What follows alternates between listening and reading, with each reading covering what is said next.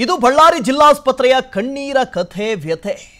ಸುಮಾರು ಇನ್ನೂರ ಹತ್ತು ಹಾಸಿಗೆಯ ಆಸ್ಪತ್ರೆಗೆ ಹತ್ತು ದಿನಗಳಿಗೊಮ್ಮೆ ನೀರು ಪೂರೈಕೆ ಆಗ್ತಾ ಇದೆಯಂತೆ ಹತ್ತು ದಿನಗಳಿಗೊಮ್ಮೆ ನೀರು ಪೂರೈಕೆ ಮಾಡ್ತಾ ಇರುವಂಥ ಬಳ್ಳಾರಿ ಪಾಲಿಕೆ ಸಮರ್ಪಕವಾಗಿ ನೀರೇ ರೋಗಿಗಳಿಗೆ ನಿತ್ಯವೂ ನರಕಯಾತನೆ ಆಗ್ತಾ ಇದೆ. ಇದು ಜಿಲ್ಲಾಸ್ಪತ್ರೆಯ ಕಣ್ಣೀರಿನ ಕಥೆ. ಮನೆ ಮನೆಗಳಲ್ಲಿ ನೀರು ಬಿಡಿ. ಜಿಲ್ಲಾಸ್ಪತ್ರೆಯಲ್ಲಿ ಕುಡಿಯೋದಕ್ಕೆ ನೀರಿಲ್ಲ. ಹತ್ತು ದಿನಕ್ಕೊಮ್ಮೆ ನೀರು ಬಿಡ್ತಾ ಇದ್ದಾರಂತೆ ಇನ್ನು ಆ ಜಿಲ್ಲಾಸ್ಪತ್ರೆಯನ್ನ ಹೇಗೆ ನಡೆಸಬೇಕು? ಇದು ನಮ್ಮ ರಾಜ್ಯದ ಸರ್ಕಾರಿ ಆಸ್ಪತ್ರೆಗಳ ದುಸ್ಥಿತಿ. ಪ್ರತಿದಿನ ಒಂದೊಂದು ಆಸ್ಪತ್ರೆ ಬಗ್ಗೆ ಹೇಳ್ತೀವಿ. ಒಂದು ಕಡೆ ಬೆಡ್ ಸರಿ ಇಲ್ಲ ಇನ್ನೊಂದು ಕಡೆ ಎಕ್ವಿಪ್ಮೆಂಟ್ಸ್ಗಳಿಲ್ಲ ಒಂದು ಕಡೆ ಆಸ್ಪತ್ರೆಯಲ್ಲಿ ವೈದ್ಯಾಧಿಕಾರಿಗಳಿಲ್ಲ ಡಾಕ್ಟರ್ಸ್ ಇಲ್ಲ, ನರ್ಸ್ಗಳಿಲ್ಲ. ಇಲ್ಲಿ ಮೂಲಭೂತ ವ್ಯವಸ್ಥೆಯೇ ಬಳ್ಳಾರಿ ಜಿಲ್ಲಾಸ್ಪತ್ರೆಯ ಕಣ್ಣೀರ ಕಥೆ ವ್ಯಥೆ ಇನ್ನೂರ ಹತ್ತು ಹಾಸಿಗೆಯ ಆಸ್ಪತ್ರೆ ಇದು. ಹತ್ತು ದಿನಗಳಿಗೊಮ್ಮೆ ನೀರು ಪೂರೈಕೆ ಮಾಡ್ತಾ ಇದ್ದಾರಂತೆ ಜಿಲ್ಲಾಸ್ಪತ್ರೆಗೆ. ಸಮರ್ಪಕ ನೀರಿಲ್ಲದೆ ರೋಗಿಗಳು ನಿತ್ಯವೂ ನರಕಯಾತನೆ ಅನುಭವಿಸ್ತಾ ಇದ್ದಾರೆ. ಎಷ್ಟೇ ಹೇಳಿದ್ರು ಅಧಿಕಾರಿಗಳು ಮಾತ್ರ ಕಿಂಚಿತ್ತೂ ಗಮನ ವಹಿಸ್ತಾ ಇಲ್ಲ. ಇನ್ನಿಲ್ಲಿ ಬಾವಿ ಇದೆ, ಬೋರ್ವೆಲ್ ಇದೆ, ಆದರೂ ಕೂಡ ನೀರು ಮಾತ್ರ ಇಲ್ಲ. ಅಂತರ್ಜಲ ಕುಸಿದಿರೋದ್ರಿಂದ ಈ ಬಾರಿ ನೀರಿನ ಸಮಸ್ಯೆ ಎದುರಾಗಿದೆ ಅಂತ ಹೇಳ್ತಾ ಇದ್ದಾರೆ. ನೀರಿನ ಸಮಸ್ಯೆ ಬಗೆಹರಿಸುವಂತೆ ಮೇಲಾಧಿಕಾರಿಗಳಿಗೆ ಮನವಿ ಸಲ್ಲಿಸಿದ್ರೂ ಕೂಡ ಯಾವುದೇ ಪ್ರಯೋಜನ ಆಗಿಲ್ಲ. ನೀರಿನ ಸಮಸ್ಯೆ ಗೊತ್ತಿದ್ರೂ ಹಿರಿಯ ಅಧಿಕಾರಿಗಳು ಮೌನವಾಗಿದ್ದಾರೆ. ಸಮಸ್ಯೆ ಬಗೆಹರಿಸೋದಕ್ಕೆ ಮೀನಾವೇಶ ಎಣಿಸ್ತಾ ಇದೆ. ಜಿಲ್ಲಾಸ್ಪತ್ರೆ ನೀರಿನ ಸಮಸ್ಯೆ ಬಗ್ಗೆ ಸಿಎಂ ಗಮನಕ್ಕೆ ತಂದಿರುವಂತಹ ನಾಗರಿಕರು, ಬಳ್ಳಾರಿ ಜಿಲ್ಲಾಸ್ಪತ್ರೆಯ ಸಮಸ್ಯೆಯ ಬಗ್ಗೆ ನಾಗರಿಕರು ಮುಖ್ಯಮಂತ್ರಿಗಳಿಗೆ ಟ್ವೀಟ್ ಮಾಡಿದ್ದಾರೆ. ಜುಲೈ ಹನ್ನೊಂದರಂದು ಬಳ್ಳಾರಿಯ ಹಿರಿಯ ನಾಗರಿಕರು ಟ್ವೀಟ್ ಮಾಡಿದ್ದಾರೆ, ಆದರೆ ಇಲ್ಲಿವರೆಗೆ ನೋ ರೆಸ್ಪಾನ್ಸ್. No response. ಈ ಹಿಂದೆ ಆಕ್ಸಿಜನ್ನ ಕೊರತೆ ಆಯಿತು ಅಲ್ಲಲ್ಲಿ ಔಷಧಿಗಳಿರಲಿಲ್ಲ. ಕೊರೋನಾದ ಸಂದರ್ಭದಲ್ಲಿ ಎಷ್ಟೋ ಜನ ಸಂಕಷ್ಟ ಎದುರಿಸಿದ್ರು. ಆಗ ವಿರೋಧ ಪಕ್ಷವಾಗಿದ್ದಂಥ ಕಾಂಗ್ರೆಸ್ ಏನು ಹೇಳ್ತು? ಒಂದು ಆಸ್ಪತ್ರೆಯಲ್ಲಿ ಮೂಲಭೂತ ಸೌಕರ್ಯ. ಆಕ್ಸಿಜನ್ ಇಲ್ಲ, ಬೆಡ್ ಇಲ್ಲ.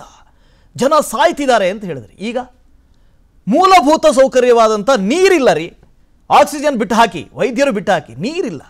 ಕುಡಿಯೋದಕ್ಕೂ ನೀರಿಲ್ಲ ಅಂತ ಹೇಳಿದ್ರೆ ಇನ್ನು ಅಧಿಕಾರಿಗಳಿಗೆ ಏನು ಮಾಡ್ತಿದ್ದಾರೆ? ರೋಗಿಗಳಿಗೆ ಫೆಸಿಲಿಟಿ ಚೆನ್ನಾಗಿದೆ. ಬಟ್ ಏನಪ್ಪ ಅಂದ್ರೆ ನೀರಿನ ವ್ಯವಸ್ಥೆ ಭಾಳ ಪ್ರಾಬ್ಲಮ್ ಆಗ್ತಾ ಇದೆ. ನಾವೇ ನೀರು ಹಿಡ್ಕೊಂಡು ಬಾಟ್ಲಿ ಹಿಡ್ಕೊಂಡು ಅಲಿತಾ ಇದೀವಿ, ಊಟ ಮಾಡಿ ನೀರು ಸಿಗ್ತಾ ಇಲ್ಲ. ಅದೊಂದು ವ್ಯವಸ್ಥೆ ಮಾಡ್ರೆ ಚೆನ್ನಾಗಿರುತ್ತೆ ಅಂತ ಕೇಳ್ಕೊಳ್ತೇವೆ ರೋಗಿಗಳಿಗೆ.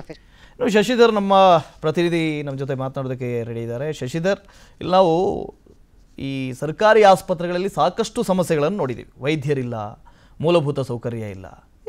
ಮಿನಿಮಮ್ ನೀರು ರೀ. ಒಂದು ನೀರೇ ಇಲ್ಲ ಜಿಲ್ಲಾಸ್ಪತ್ರೆಯಲ್ಲಿ ಅಂತ ಹೇಳಿದ್ರೆ ಇನ್ನು ಅಧಿಕಾರಿಗಳು ಏನು ಮಾಡ್ತಾ ಇದ್ದಾರೆ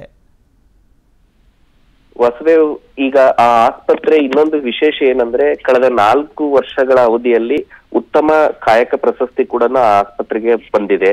ಆಮೇಲೆ ಕಾರ್ಪೊರೇಟ್ ಲೆವೆಲ್ ಹಾಸ್ಪಿಟಲ್ ಅನ್ನೋದು ಕೂಡ ಅದಕ್ಕೆ ಹೆಸರಿತ್ತು. ಆದ್ರೆ ಇಲ್ಲಿ ನೀರಿನ ಸಮಸ್ಯೆ ಬಹುವಾಗಿ ಈ ವರ್ಷದಿಂದ ಕಾಡಿದೆ.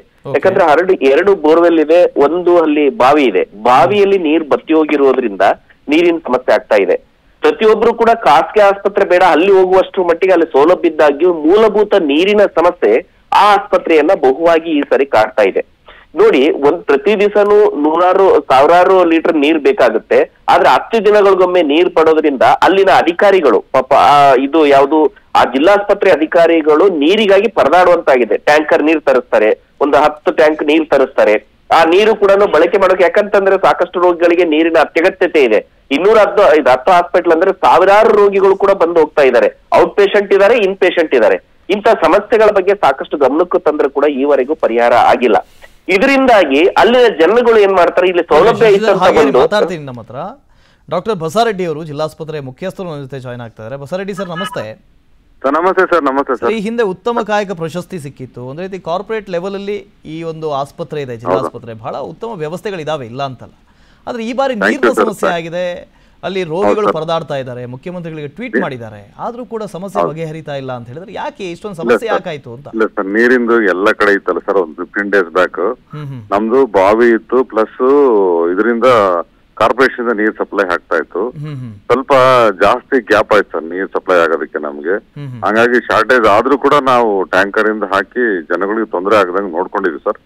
ಸ್ವಲ್ಪ ಶಾರ್ಟ್ ಇರ್ಬೋದು ಬಟ್ ಎಲ್ಲರಿಗೂ ಏನು ಕುಡಿಯೋದಕ್ಕಾಗ್ಲಿ ಒಂದ್ ಬಾತ್ರೂಮ್ಗೆ ಇದಕ್ಕೆ ಎಲ್ಲದಕ್ಕೂ ಟ್ಯಾಂಕರ್ ಹಾಕಿ ಯೂಸ್ ಮಾಡಿದ್ವಿ ಸರ್. ಇವಾಗ ಆಲ್ಮೋಸ್ಟ್ ಈಗ ಒನ್ ವೀಕ್ ಇಂದ ಅಂತೂ ಏನ್ ಸಮಸ್ಯೆ ಇಲ್ಲ ಸರ್. ರೆಗ್ಯುಲರ್ ಆಗಿ ನೀರ್ ಬರ್ತಾ ಇದೆ. ನೀವು ನೀರ್- ಹತ್ರ ಮಾತಾಡ್ಬಿಟ್ಟು ಒಂದೊಂದು ಆಗಿ ನೀರು ಸಪ್ಲೈ ಆಗೋಗಿ ಮಾಡಬಹುದಲ್ವಾ ಹೇಳಿ ಮಾತಾಡಿದ್ವಿ ಲೆಟರ್ ಬರ್ದಿವಿ ಎಲ್ಲ ಅಲ್ಲಿನೂ ಕಡಿಮೆ ಇದೆ ಸರ್ ನೀರ್. ಹಂಗಾಗಿ ಎಲ್ಲಾ ಕಡೆನೂ ಕಡಿಮೆ ಕೊಡ್ತಾ ಇದ್ರು. ಸೊ ಹಂಗಾಗಿ ಅವರು ಸ್ಟಾರ್ಟಿಂಗ್ ಅಲ್ಲಿ ಸ್ವಲ್ಪ ಸ್ವಲ್ಪ ಟ್ಯಾಂಕರ್ ಅವರಿಂದನೂ ಕೊಟ್ರು ಮತ್ತೆ ನಾನು ಅದು ಸಾಕಾಗಲ್ಲ ಅಂತೇಳಿ ನಾವು ಹೊರಗಡೆಯಿಂದನೂ ತರಿಸಿ ನಿಯರ್ಲಿ ಡೈಲಿ ಎಂಟತ್ತು ಟ್ಯಾಂಕರ್ ಹಾಕಿ ನೀರು ಸಪ್ಲೈ ಮಾಡಿದೀವಿ ಸರ್ ಎಲ್ಲರಿಗೆ. ಯಾವುದೇ ಸಮಸ್ಯೆ ಆಗ್ತಾ ಇಲ್ಲ. ಇಲ್ಲ ಸರ್ ಸಮಸ್ಯೆ ಆಗ್ತದೆ ಮುಖ್ಯಮಂತ್ರಿಗಳಿಗೂ ಟ್ವೀಟ್ ಮಾಡಿದ್ದಾರೆ ಒಂದಷ್ಟು ಜನ ಹಿರಿಯ ನಾಗರಿಕ ಹೌದು ಇಲ್ಲ ಗೊತ್ತಾಗಿದೆ ಸ್ವಾಮಿ ಗೊತ್ತಾಗಿದೆ ಸರ್ ಗೊತ್ತಾಗಿದೆ ಸರ್ ಅದು. ಅಲ್ಲ ಇದಕ್ಕೊಂದು ಶಾಶ್ವತ ಪರಿಹಾರ ಆಗ್ಬೇಕಲ್ಲ ಸರ್ ಈ ಸರಿ ಬರಗಾಲ ಪರಿಸ್ಥಿತಿ ಮಳೆ ಆಗ್ಲಿಲ್ಲ. ಹೌದೌದು. ಅದಕ್ಕೆ ಶಾಶ್ವತ ಪರಿವಾರಕ್ಕೆ ಈಗ ಒಂದು ರೋಡ್ ವೈಟ್ನಿಂಗ್ ವರ್ಕ್ ಆಗ್ತಾ ಇದೆ ಸರ್. ಅಲ್ಲಿ ಕಾಕೆಗುಡ್ಡ ಅಂತಿದೆ ಅದು ವಾಟರ್ ಟ್ಯಾಂಕರ್ ಇದೆ. ಅಲ್ಲಿಂದ ನಮ್ಮ ಹಾಸ್ಪಿಟಲ್ಗೆ ಒಂದು ಟೂ ಹಂಡ್ರೆಡ್ ಮೀಟರ್ಸ್ ಆಗುತ್ತೆ. ಅದು ಟ್ವೆಂಟಿ ಫೋರ್ ಅವರ್ ಲೈನ್ಸ್ ಯಾವಾಗ್ಲೂ ನೀರು ಇರುತ್ತೆ ಸರ್. ಅದನ್ನ ತೆಗೆದುಕೊಡೋದಕ್ಕೆ ಆಲ್ರೆಡಿ ನಮ್ಮ ಮಾನ್ಯ ಜಿಲ್ಲಾಧಿಕಾರಿಗಳಿಗೆ ಮತ್ತು ಜನಪ್ರತಿನಿಧಿಗಳಿಗೆ ಕೊಟ್ಟಿದ್ದೀನಿ ಸರ್. ಅದನ್ನು ಈ ರೋಡ್ ವೈಡ್ನಿಂಗ್ ವರ್ಕ್ ಅಲ್ಲಿ ಮಾಡ್ಕೊಡ್ತೀವಿ ಅಂತ ಹೇಳಿದ್ದಾರೆ ಸರ್ ಅದು. ಅದು ಆಯ್ತಂದ್ರೆ ನಮಗೆ ಕಂಟಿನ್ಯೂಸ್ ಇರುತ್ತೆ ಸರ್ ನೀರು. ಓಕೆ ಹಾಗಾದ್ರೆ ಇವಾಗ ಯಾವುದೇ ಸಮಸ್ಯೆ ಆಗ್ತಾ ಇಲ್ಲ? ಇವಾಗಿಲ್ಲ ಸರ್ ಈಗ ಏನ್ ಸದ್ಯಕ್ಕಿಲ್ಲ ಸರ್. ಎಲ್ಲ ನಡ್ಕೊಂಡು ಹೋಗ್ತಾ ಇದೆ ಸರ್. ಕುಡಿಯ ನೀರಿಂದ ಆಗ್ಲಿ ಬೇರೆ ಜನರಲ್ ಯೂಸ್ಗೆ ಎಲ್ಲದಕ್ಕೂ ಇದೆ sir. Okay sir okay okay thank you thank you sir thank you sir thank you thank you Vistara news ನಿಖರ ಜನಪರ